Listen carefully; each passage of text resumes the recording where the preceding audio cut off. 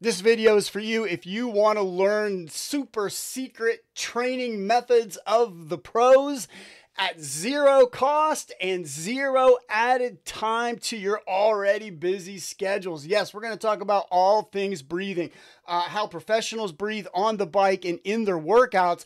Um, but we're also going to introduce the concept of just your daily life breathing, how you should breathe in your daily life. Now, when I work with athletes, um, especially as a nutritionist, one of the things that we go through is that we go through several types of breathing that can hack your lifestyle from, you know, types of breathing that you can do while you're laying in bed at night going to sleep to when you wake up first thing in the morning and then throughout the day if you're feeling stressed. We talk a lot about breathing in my nutritional practice, in my coaching endurance athletes practice. We talk about all that, of course, but we also add a couple layers of, um, uh, additional ways to maximize your time on the bike uh, to make you a better athlete, uh, whether you're my, a runner, um, a swimmer, or even a uh, you know a cyclist. First, you got to read James Nestor's book Breathe. This is one of the most amazing foundational books that every athlete should read. How this guy wrote a book that's actually a page turner on breathing.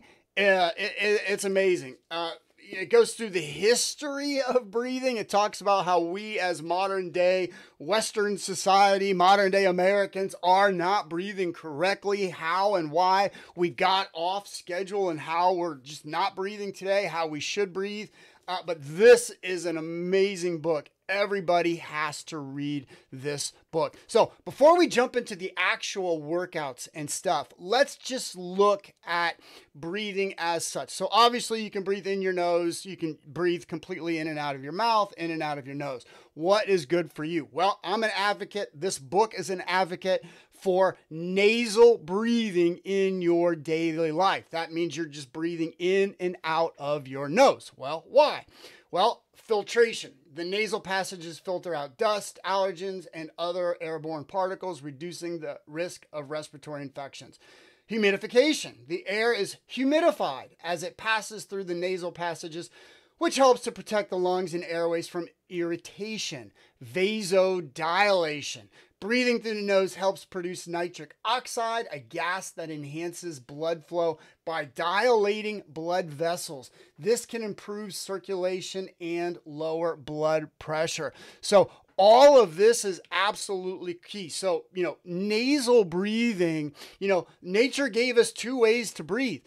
When you're just at rest, when you're working at home, when you're uh, at your office, when you're at the grocery store, when you're doing just light activity, it's best to learn to breathe in and out your nose. And every once in a while, you'll see athletes wear those nasal strips. I don't really wear those nasal strips in working out, but what I will do is just sitting in my home is I will put one of those nasal strips on while I'm working throughout the day just to remind me to breathe in and out my nose. And the mood is incredible. When you oxygenate those cells throughout the day, your mood increases, just life gets better. Never forget, right? Uh, it, it, takes more energy, more oxygen to be in a healthy, happy state than it does to be in a depressed state. So, one of the things that I always advocate to anybody that comes to me uh, as an athlete, one of the things that we want to work on is your nasal breathing throughout the day. You will become a more efficient human being. Never forget, right? We're bringing all this stuff in every day. We're bringing in food. We're bringing in water. We're bringing in air. And what we want to do as athletes is create the process, create the habits that cost zero time, that cost zero money to make us that much more of efficient human being. We're taking in the food. We want to use that food efficiently. So we do a lot of things as uh, nutritionists and coaches. We want, you know, timing of our food intake uh, you know, all that great stuff. Uh, hydration, we want all of that. And then um, nasal breathing, we want you to take that air that you're bring it into your body and use it the most efficiently way possible. This is a way for some major gains. Now, for athletes, how does this all translate to working out? Well, increase your lung capacity and oxygen intake by more than 25%. Increase the oxygen supply to your muscle cells to burn more sugar, fat, increase ATP production for greater energy release, and better muscle contraction for day in and day out strength power and endurance for sustained road cycling race performances. And so now, when I'm thinking and teaching this to new athletes, I'm thinking largely in terms of you know, zones that you want to be in. And there's roughly three types of zones. There's 101 is just 100% nasal breathing. Two is in your nose, out your mouth, in your nose, out your mouth, in your nose, out your mouth. And it's interesting. And so, God, when I was in high school, I had a coach that talked a lot about breathing.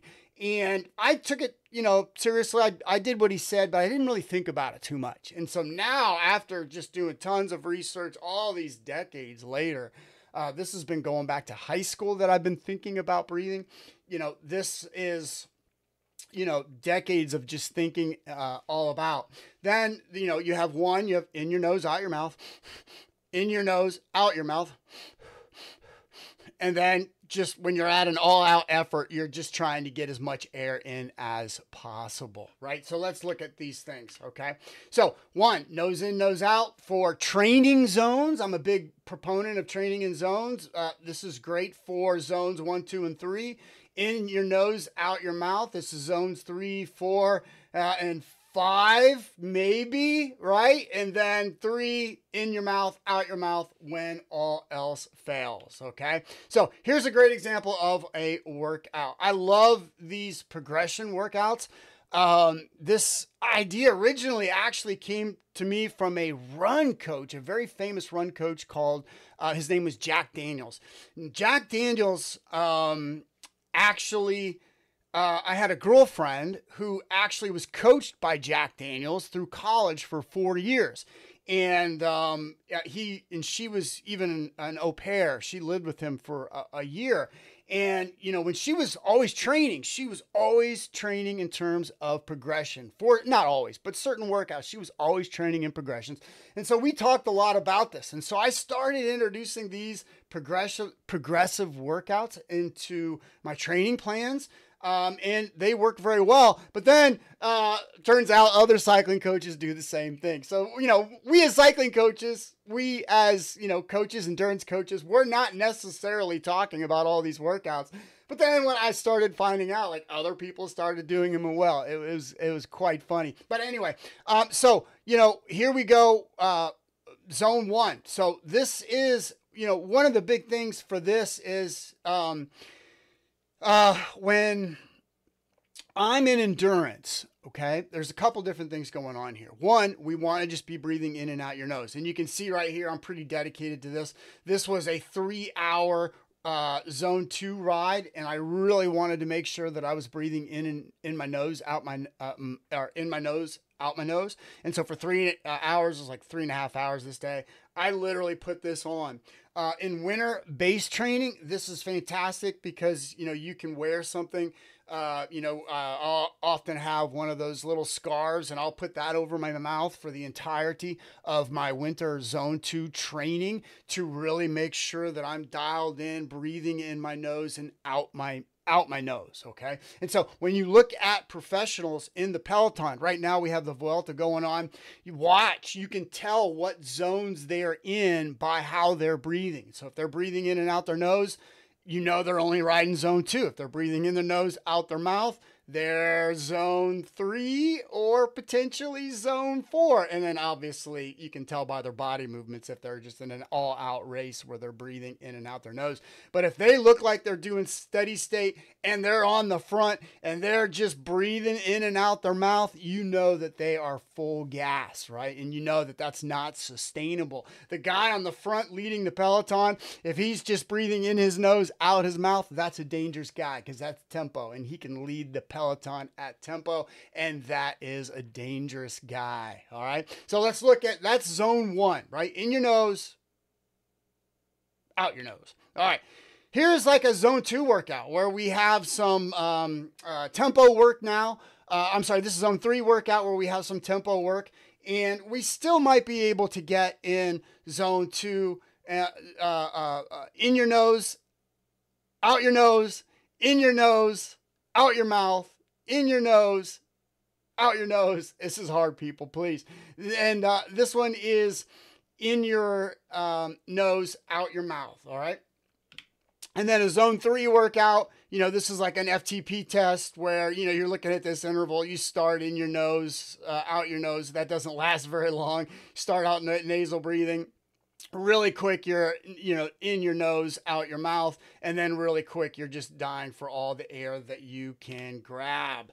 So when you breathe, you want to um, breathe from your belly. And this is one of the things that I love about zone two. Uh, especially just nasal breathing, it really emphasizes the diaphragm. And so when I'm looking around at people uh, in myself, um, just don't not we're not breathing correctly. We not have that. We're not using the full lung capacity. And when we do diaphragmic breathing, that's when we start bringing that out um, and making it work. Interestingly, um, the sympathetic nervous system is associated with the top of the lung, and the parasympathetic nervous system is based is related to the bottom of the lung. The sympathetic is the flight or flight um, system, and we want to kind of stay out of that. We want to, you know, especially when we're in recovery, we want to get out of that.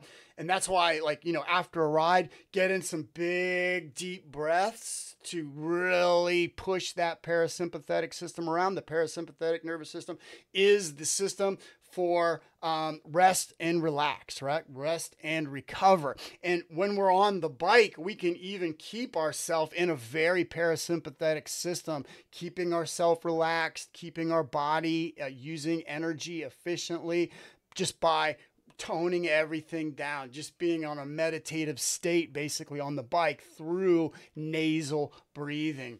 Um, you, basically when you're on your bike, it's slow in breath, strong out breath. So you're you're riding, you're right, and it's it's kind of right, even in, in my nostrils, right. So when I'm nasal breathing on the bike, I'm just relaxed. But but when you're All right, get that? And then practice off the bike, uh, create the habit. I mean, this is pretty self explanatory. Uh, if you're new to nasal breathing, go to the grocery store, you know, um, just breathe in and out your nose and really concentrate on it. Uh, again, I put the, the, the thing over my mouth uh, when I'm definitely on a zone two training ride or when I'm out. Um, on the bike in the winter. It's a great time just to make sure that you're dialing in your breathing. Uh, start with endurance, right? So when you start looking at these different zones of breathing, zone one, zone two, zone three, start with endurance and then work your way up, right? We won't, we don't want to cram for the exam. In this case, we want to just relax, take it take it easy.